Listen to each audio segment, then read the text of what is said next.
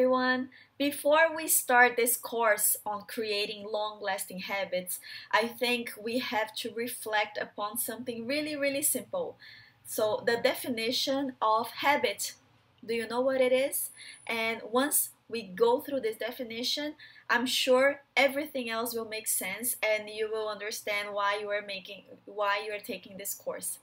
Well, a habit is basically a regular or settled tendency to practice something and specifically something that it's hard to give up.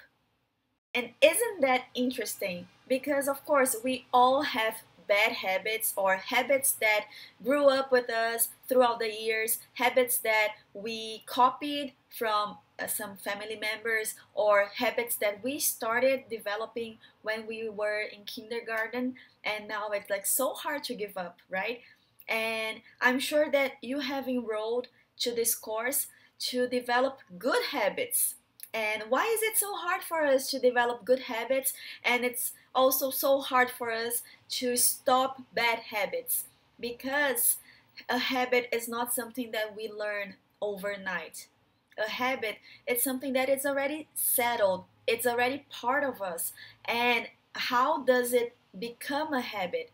Uh, nowadays studies have suggested that a habit can only be long lasting if we practice that every single day for 30 days.